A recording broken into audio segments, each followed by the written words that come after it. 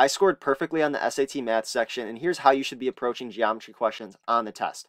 If you take a look at this one, we're asked for the value of x. So the first thing I'm going to do is identify the angle I need in order to solve for x, and that's going to be that angle that I just wrote in blue.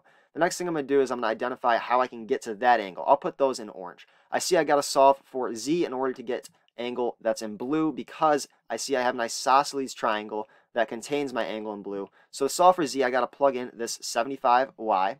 So I'll go ahead and do that. So I plug in 75, multiply it by 2. That's going to give me 150 is equal to 180 minus z that means that z is going to have to be equal to 30. So now I know that z is 30.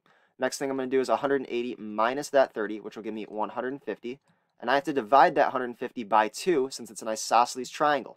150 divided by 2 I know will be 75. Next I have to do 180 minus 75 to solve for angle x since that's along a line and that's going to leave me with 105 is equal to x. So the answer is 105.